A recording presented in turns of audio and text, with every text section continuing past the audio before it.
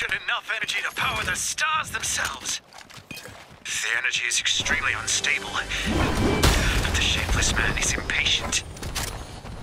We must stabilize this energy long enough to power the rip gate.